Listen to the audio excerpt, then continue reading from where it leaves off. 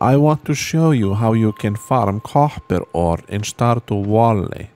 You go to level 21 in the mines and mine all the copper that you see. If you see stairs down, you can take a peek at level 22 and get the copper there. If there is nothing to be found, just go back to the elevator and go back to level 21 and all the copper ore will be reset, all the minerals. And then you can check out the next level, see if there is copper down there, and then you go back constantly again and again. You can do this for a whole day. Leave the mines and go back to level 21 to find more copper ore to mine over and over.